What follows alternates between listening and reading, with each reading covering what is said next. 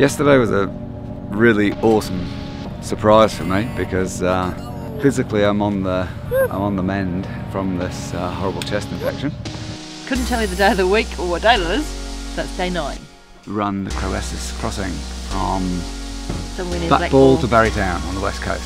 Incredibly sore, painful, lateral knee pain. I'm going to need some work on this otherwise I'm going nowhere. It's really painful.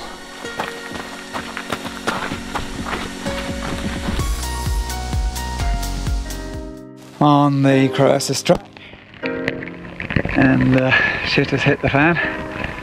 My left knee seems to have completely blown out. Fast turning into the most painful and longest day.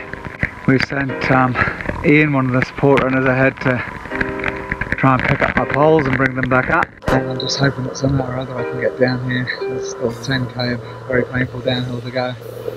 Too much gone into this to not, not make it through, so yeah, we're gonna do it.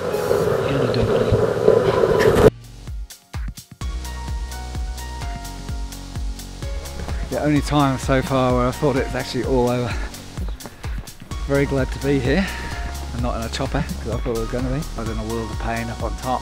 The goal was 50 mountain marathons with 50, Yep. over 50 peaks in 50 days.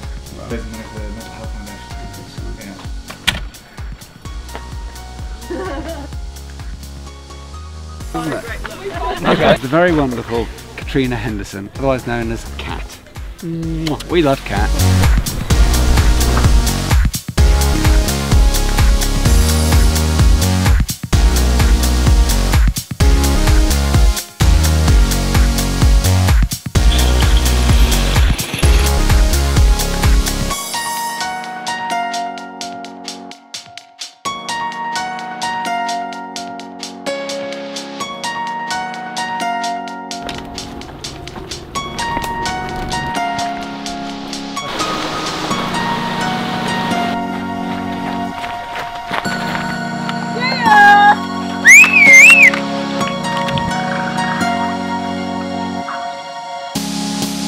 Uh!